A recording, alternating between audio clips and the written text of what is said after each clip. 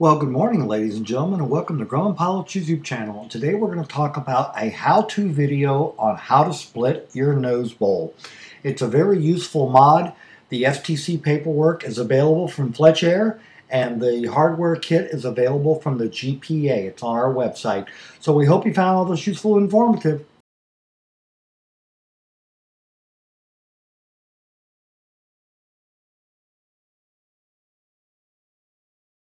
Well, good morning, ladies and gentlemen, and welcome to Grumman Pilots YouTube channel, directly supporting the Grumman Pilots Association. And this morning we're going to walk through a fairly long video, but this is a illustrated version of how to split a nose bowl. So before we even begin to start, the first thing we do is we go get some blue painter's tape, and we go on the bottom of the cut line of the upper and the lower cowling. And then we extend it around the front, and then wrap it around onto the inside. And then we do the same thing on the other side. We take the blue painter's tape, we follow that line already in your cowling, coming around the front and tuck it inside the inlet. Now that we know where the cut line is, which is going to be on the top of this on the top of this piece of tape on both sides, now we can mark it onto here with a straight edge, and that way what you do is when you cut the upper nose bowl, you get a nice line that flows with the airplane. I've seen them cut here and cut up here, and it really catches your eye. But when you follow the existing line in the cowling, you really don't see it after you split the nose bowl. So the next step is, is we're going to be taking off the spinner and the propeller and then removing the nose bowl from the aircraft. So stand by for a bit more fun. Okay, now that we've marked the sides and we've removed the spinner and the propeller and the spinner plate, now we're ready to finish marking a piece we can get across without propeller in the way. So we take blue painter's tape, uh, 3M, this will make Stan Berger very happy, retired 3M engineer. And we line that tape up. Then we kind of have to kind of eyeball it. Or what we want is a nice straight line. And now we have that nice straight line. We can seal the tape off. And this way we know where on the upper edge where to mark here. So we're going to get a pencil. We're going to put a line and then when we remove the nose bowl, we'll take a square and drop the square down to the floor when this is sitting on the floor with this facing up so that we can get a nice straight line through the cowling on all the pieces. So stand by while I get a pencil. Okay, so having retrieved the Caran d'Ache, we go ahead and we mark the cowling. And remembering that we want our line to be on the top side of the tape you can put it the other way. It doesn't matter. My personal preference is the mark above the tape. And so now we have a mark. We already have the tape here.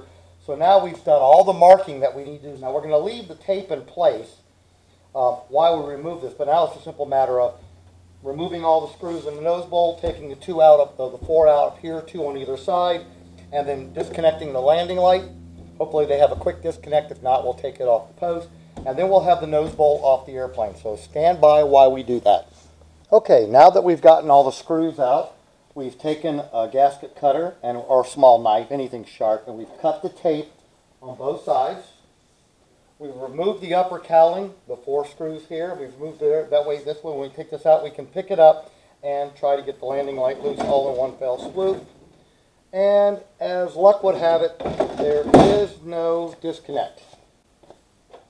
So, not a problem. We take our little screwdriver, and we'll just remove the landing light wires from the back of the landing light. Okay, now the nose bowl is off. This is an LED landing light, so we'll need when we put it back together to observe polarity. And this is a very particularly clean nose bowl. A couple things we noticed though is that there is an oil leak up in the front um, somewhere. We'll have to look at it. It looks like it's cylinder number two, but we're just here to do the split nose bowl, but we'll make a list of notation. Also, the baffle seal on this aircraft is um, at the end of its service life, and uh, we noticed a couple of cracks in the baffling and a couple of places where air is leaking. So we'll write some notes and let the customer know we can address all these on annual. But now that we have the tape and all in the nose bowl, we're now ready to go to the table and start our real work. So stand by. Okay, so we actually have the paperwork. Um, now, what it comes with, it comes with a diagram and we're going to embed this diagram in the video as a JPEG, but it just shows you the basic of what we're going to be doing, splitting the nose bowl, which we've already marked, also called out in here are all the pieces of metal that you need. They're two inches tall and they have some distinctive lengths. And what we've done is, is we've gone over this morning to the metal shear, and since we have a couple of the people wanting kits, um, Rags out in Chandler, Arizona, has to do a split nose bowl in his shop, and so we're going to cut all the metal and send all the fasteners. Um, seven and three quarters, seven and a quarter, six and a half, and five and three quarters. And they all call out where they go. The left outer, right outer, left center, right center. Uh, but it's all called out in the diagrams. The paperwork comes from Fletch-Air. It's an STC kit. It comes with six pages, a parts list, which is, by the way, not complete, um, as well as the diagrams for how to cut the metal. Fletch-Air used to provide this as a complete kit. You got the paperwork STC with your serial number and all on it, as well as all the parts in a bag, including all the metal. They don't do that anymore. So we've talked it over with the steering committee for the GPA, and we're going to start making these complete installation kits to complement. You'll get the paperwork from Fletch-Air, but the hardware, the fasteners, the screws, the Tinnerman washers, everything you need to do the job will come from the GPA. We'll put it together as a kit and we'll just mail it to you in a small flat rate uh, postage box. So now what we're going to do is now that we have all the metal cut aside, we're going to lay aside one piece of each of these for this project. We're going to take the other ones we did for the other people. We're going to move them aside. And now we're going to begin marking the metal with the lines where the holes for candidate drilling are going to be. We won't line those up until we actually have them on the airplane and we get them bent to go into the nose bowl. By the way, while we're on the subject of paperwork, before we go, um, on the GPA website, in the forums, if nose bowl split STC SA 4325 NM illustrated instructions, it prints out to 18 pages. It prints out to like 18 pages and it's illustrated. Um, so if you want to read about the step-by-steps, just go to the forums and, um, and do a search. This one's actually in under Home, Forums, Technical Information. Under Technical Information, we have all the stuff, uh, including the comments. Let me just talk about the tools real quick. You're going to need blue painter's tape, as you've already saw. That's for marking. You're going to need a pencil or Caran d'Ache. You're going to need a straight edge ruler, a Sharpie, such as this, a number 40, a 1 8 and a 13 32nd drill bit. You'll need a flush cut saw. You'll need a Phillips screwdriver, a rivet squeezer, Cleco pliers, some Clecos, 1 8 inch, those are the copper ones, 10 or so should do, a drill, some clamps, the number 40 skin rivets for the nut plates, some 3 quarter inch countersunk rivets to attach the outside, sandpaper, paint, file, and a few skills in sheet metal riveting and Cleco use for the different parts. And we're going to take our Sharpie and we're going to draw the lines that are on here, the parallel lines, and then we'll lay it all out and start the process of match drilling into the um, into the uh, nose bowl itself. And we'll show you a few tricks of all that in just a few minutes. So stand by. So before we finish up on tools real quickly, uh, when I talk of clamps, these are just Irwin woodworking clamps, and we're going to be using those to hold things in place and to pull things in place. And then here's a quick tool. You just take a section of 2x4 and you make a bowl nose on it. And this is going to help us on the nose bowl. So when you, when you go to bend the metal to go in this part of the nose bowl, it's kind of a tight fit. You know, it's okay here. These are straight pieces of metal. They don't have any bend here in the center, sorry, in the center section. The center sections, the metal just lays in. Then not a problem at all. But it's in these outer sections on either side where this is designed to go in here and allow the clamp to grab it on the top and on the nose bowl and pushes that piece of metal way down into that curved surface so you get a good, good anchor point when you go to do your drilling and everything on the um, on the metal. So it gets it deeply seated in there. It just makes it easier to take your nose bowl apart when you do it. And we do that on both sides. So it's not hard to make, just a piece of 2x4 a couple of whacks with a saw, a little bit of sanding on a belt sander, and there you go, a bull nose piece of 2x4. Comes in really handy. Okay, we've come back on the metal. We've marked them left outer, right outer, left center, and right center. That's on the aircraft. So on this airplane, the left will be the pilot side, the right will be the co-pilot side. But the other couple of tools, Cleco pliers, come in very handy. And I said eighth inch Clecos, I meant actually number 40 Clecos. So we'll be using these to hold the, uh, the two-legged captures. These are um, MS21047L8 blind captures. They're held in by two number 40 skin rivets. And they get, well, they get riveted on here in the plates and various things. These are your blind captures up on the top. You also have a rivet squeezer.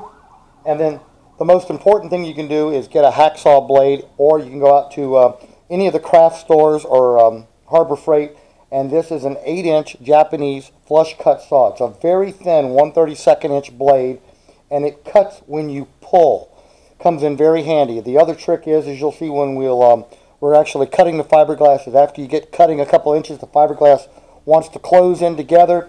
Um, take a piece of 132nd stock or something a little bit bigger and put it in the cut. That way it won't bind the saw as you're cutting down. But we'll cover more on that later.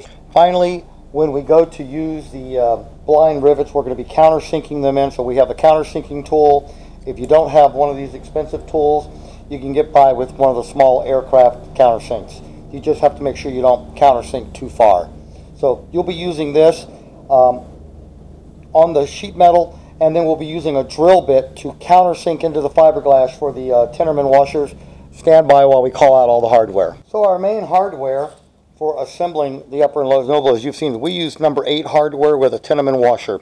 This goes on the outside of the aircraft, goes through the fiberglass and into the uh, two-legged anchor that will be affixed to the, uh, the aluminum pieces that we're producing.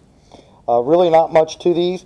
The bottom row, uh, when we send out the kits, since most people don't have access to a rivet squeezer, and it's really hard to squeeze the bigger rivets that are called out, then what we do is we actually send the MS uh, I'm sorry, the AN365 1032A nylon lock nuts, and these go on the back side of the aluminum. So the bottom row of screws we normally paint white to match or blue to match the nose bowl, whatever color the nose bowl is, so you know not to take these off, and we leave the ones you take off in just stainless steel. But it's your preference. This way it's a lot easier for most people to work with hardware than it is with a rivet squeezer in tight places. Okay, so we've drawn our parallel lines, and we've marked all the holes to drill on all the pieces. We've also taken our blue tape and transferred our cut lines with pencil onto the fiberglass all the way around, including, don't forget to do the tops as well on the rim around the, where the spinner, the spinner hole is. Down the sides. That's where we're going to be cutting.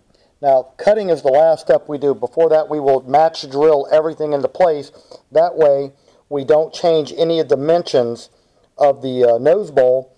When, if you cut it and then you do it, you lose 132nd. So we want to have that 132nd gap in there, and that's what we're going to be using while we do the match drilling. So stand by for the next step. Now, here's a couple of tricks to a nice installation. Let me remove the uh, center piece so you can see your air intakes are reinforced with this doubler right here. And it actually comes around and bolts to the, and uh, rivets to the fiberglass. We like to take our plates and run them right up against that. It gives a nice stable place to clamp it. However, when we do that, we'll see that we want our cut line to be about right where my finger is. But if we come to the other side, we can see that we're off about a half an inch. So we're going to move this, this one over here a half inch down. Same thing over here. We've got this big uh, Irwin clamp holding this right up against the aluminum so that it, it will give a nice stable place for the aluminum can't wobble. But if we come to the other side, we see that our cut line is not, we're move it down roughly about an inch. So we're going to move this one down a bit. So they're not going to be perfectly symmetrical, but it's in the center section that nobody will notice. And it gives for a much a much more stable installation. We want our cut line to be about right here. So we're going to be transferring that line. Uh, let's make that transfer, and then we'll clamp these back into place, and we'll do our match drilling in just a moment. Okay, you can just see the remnants of our old line on the left-hand side, pilot side. We moved it. The front was fine, but we moved the back because we want to make sure that our cut line comes about through the center of the uh, metal piece. And over here, we had to move the entire line down a half inch. You can see the two parallel lines. We will remove this line right here in a moment. But we have it in place, and now we're going to get our drill, and we're going to start drilling our holes through the aluminum and through the uh, fiberglass. And as we do each one, we'll be adding a cleco from the outside to the inside to hold it so we can remove the clamp and get to the top hole. So, okay, so the, a couple of tips. Take your time, get a sharp drill. Neatness counts. So as we're drilling through the inside of the aluminum, once we hit the fiberglass, we want to let the bit do the work because we don't want to do a whole lot of cracking in the gel coat that's on the on the uh, fiberglass. Some is okay because it can be covered by a, a Tinnerman washer. So you've got quite a large area that you could make a boo-boo on and still cover it. So we take the drill, set it on fast, and now we're going to drill our first hole. We always do the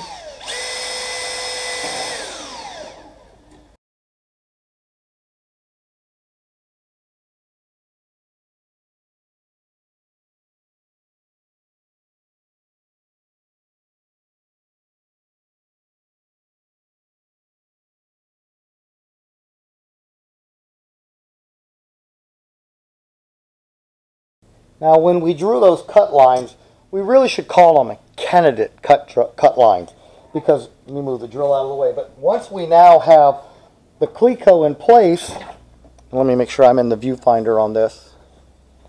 Let me turn this so we're a little bit more parallel. Now we can examine this line, and that line goes pretty much straight through where the clecos are. So that's a good cut line, and we're going to leave that one right where it is. Now we're going to start in on the longer side, we have a few more holes to drill, but it's the same basic principle. We're butted up against this aluminum. Uh, we'll go ahead and drill this one and probably this one, and then we'll come up here and get the diagonals, and then after that, it's all pretty much downhill from there.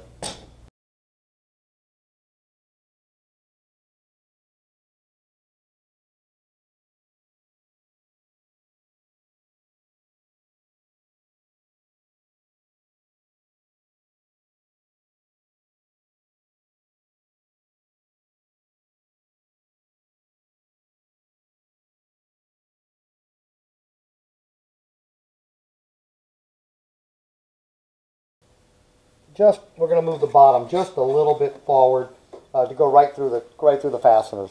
Um, that's just one detail. Now, now for the fun ones.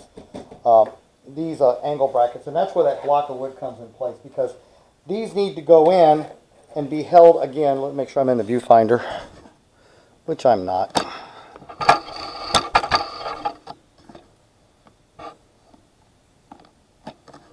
Let's turn it so I can get some more light in there.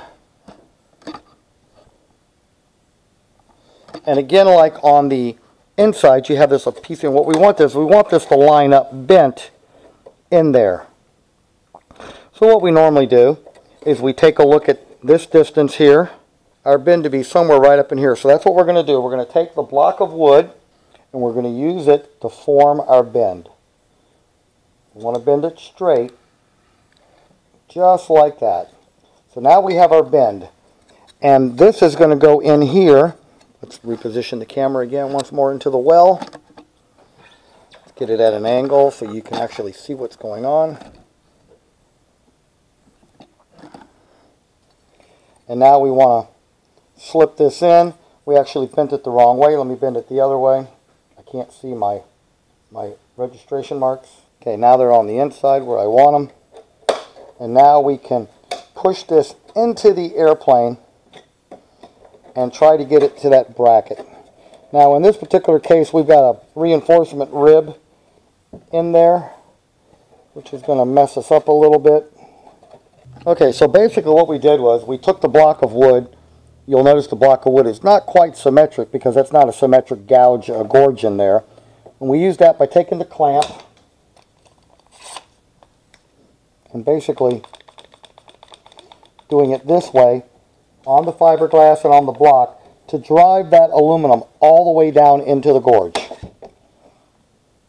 That way it's really nice and well seated. Now, you might notice that there's a conundrum here because we can't obviously get this drill in here to drill these holes, so we're going to be drilling from the other side, and we're going to do that with a match driller. We're going to go get it, a hole matcher, a hole finder, some people call it. And that way we're going to drill. And then while we do that, we, I can see right here that this, this line right here on this side is going to get moved a little bit to get it in between the center of the clecos. Again, neatness counts. We want these lines on the outside to match the cowling. These will get adjusted as the metal lays in the air, airplane.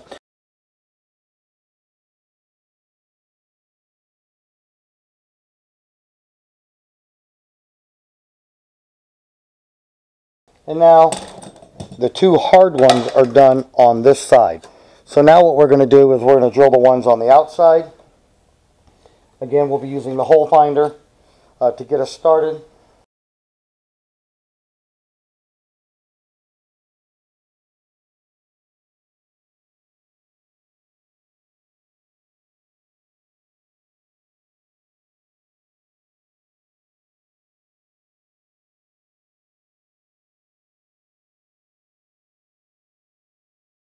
That worked out fairly well.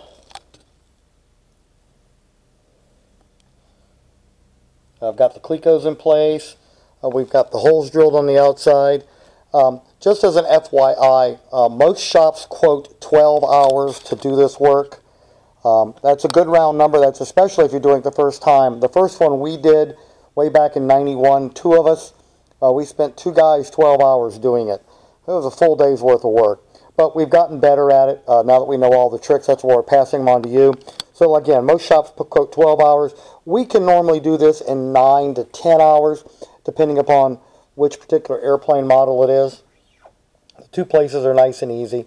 So anyway, we've now got all our pieces drilled, so we know where everything goes. Everything's all matched drilled. So now what we can do is we can take all our metal pieces out. We can begin the process of adding the fasteners to the back on the top, which is the screws that we're going to remove. Uh, getting these set up here for the blind, the uh, lock nuts on the bottom. Uh, we'll do that all the way around. Uh, get everything set up to go, and then we'll come back and finally uh, take a break, have some lunch, and we'll actually do the cuts after we check our lines one more time. So stand by for more fun. Okay, we have all the metal pieces drilled. We've checked all of our cut lines where we want to put them. We had to move a couple of them because they would there'd be a conflict with the fasteners. Uh, just every nose bowl sometimes works out a little bit differently. Um, and so anyway, now we're at the point where we're going to actually take the saw and get really brave and start cutting the nose bowl. Now, since the nose bowl is really stable like this, we normally cut the two center sections first because they're nice straight cuts. And uh, again, a couple of tricks is when you're cutting it, you want to keep the saw at a very low angle uh, to the material you're cutting. That way it stays nice and straight in the groove. So we're going to start down here, work our way up, do the other side on the center, and then we're going to come back and do this one. So let's make sure I'm still in the viewfinder, sort of.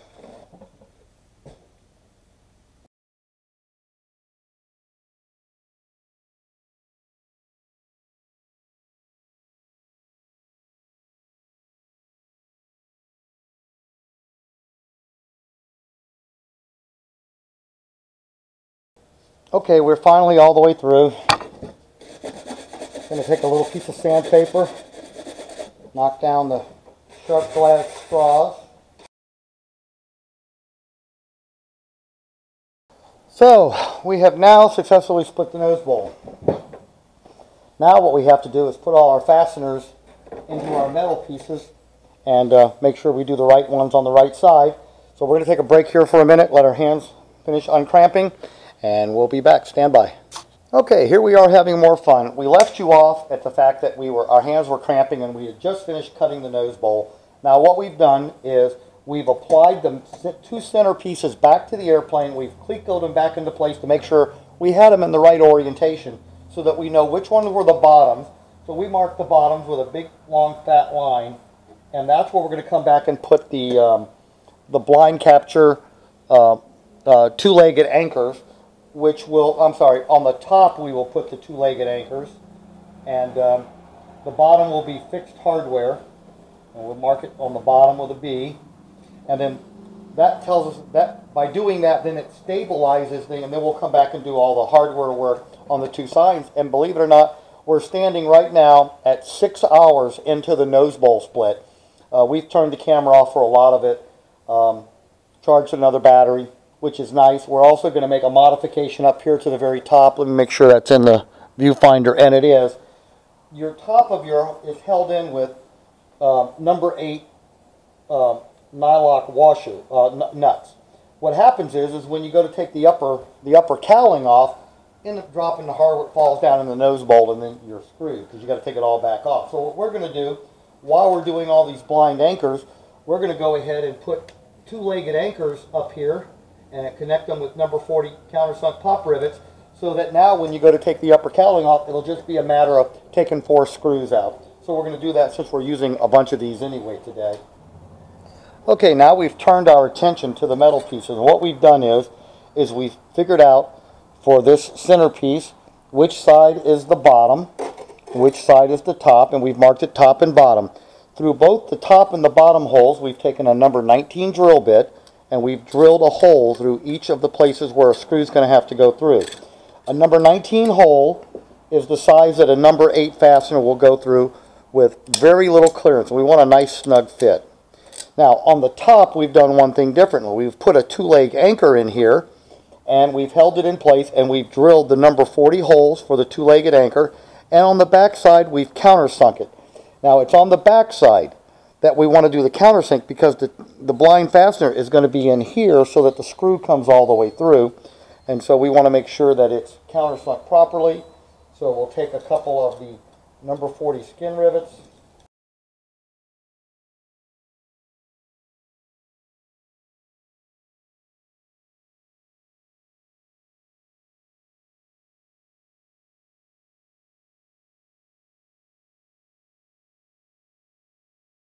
they're nice and flush.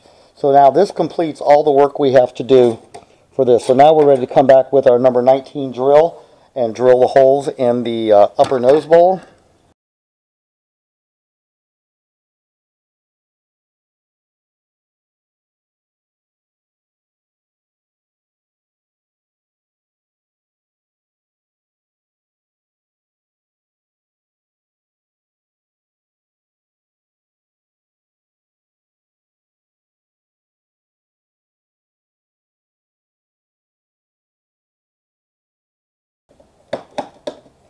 Into the blind fastener.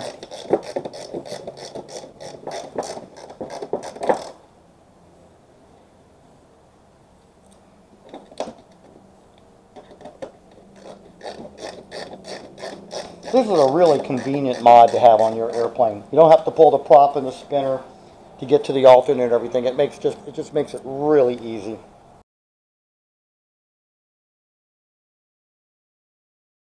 Okay, that is one of the four plates of the split nose all done. The next one we're going to work on.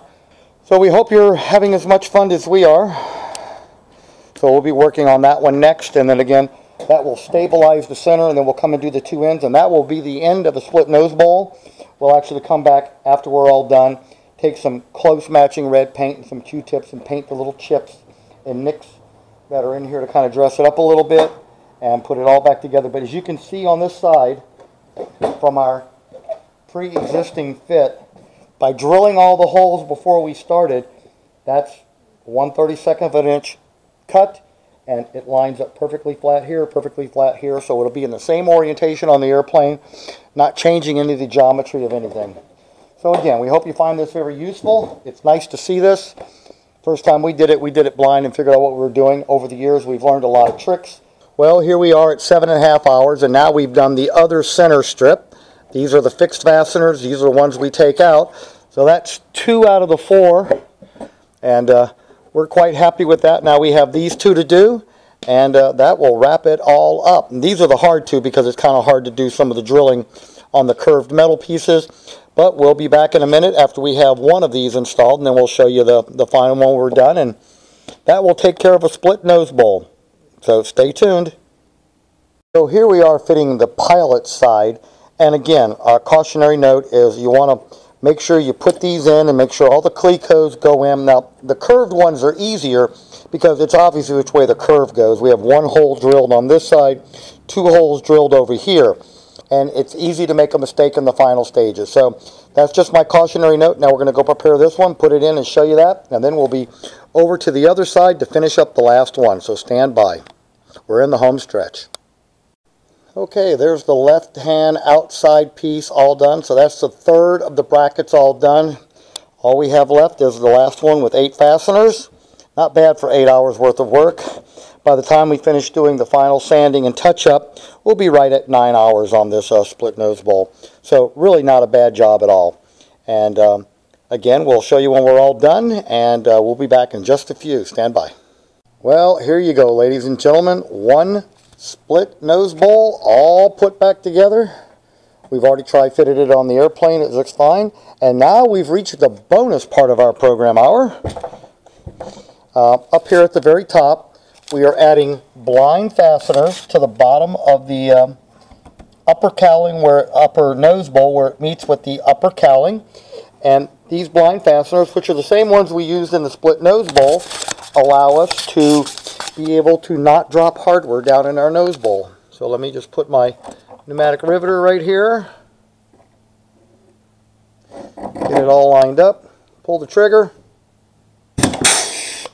And voila, we have one blind fastener. And by having the screw in there, in these holes, we know it's going to be in exactly the right spot for the screws to match up and mate. So we're going to do three more. We'll show you that when we're done. But we are rapidly finishing this split nose bowl project. Stand by for the finish. Okay, so here's how we do uh, these blind fasteners. We uh, use a screw to hold it in place, then we drill from the back side to drill the first hole, put a pop rivet in. Now we're ready to take our number 41 drill, and because drills tend to wallow through fiberglass, that makes a perfect number 40 hole. We take a number 40 countersunk rivet, we put it in the hole, and these are shear countersinks. Very, very little flange, nothing that's going to interfere with the upper and lower cowling mate. Come back with the pneumatic riveter, because our hands are cramping bad enough today. Throws out the tail. Now we can take the screw out. We're down two more fasteners, we'll do the bottom one. And we're mounting these at a 45 degree angle. That way we catch across the grain of both layups of cloth also keeps them out of the way of of the the way the cowl makes.